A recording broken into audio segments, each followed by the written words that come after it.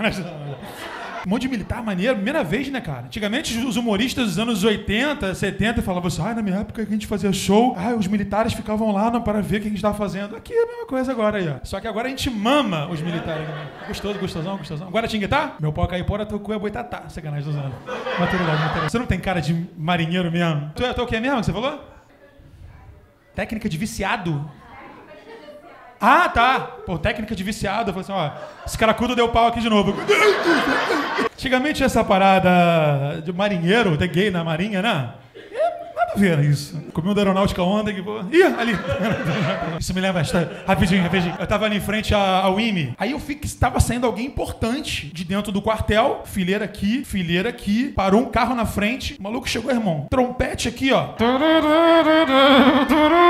Não lembro como é que era a música. Aí eu falei, caraca, que porra é essa? O maluco sai com música. Aí os caras estavam lá, né? Pela posição de militar, aqui, ó. Só que tinha um dos militares que tava assim, ó.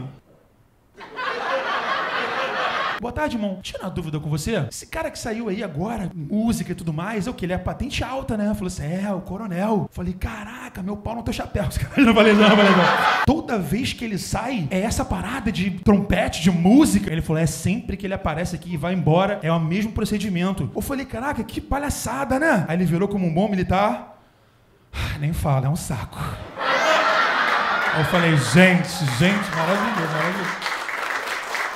E nem era da Marinha, nem era da Marinha, né?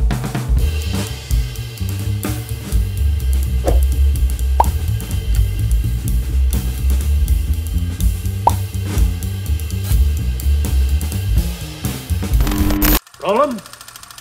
Action.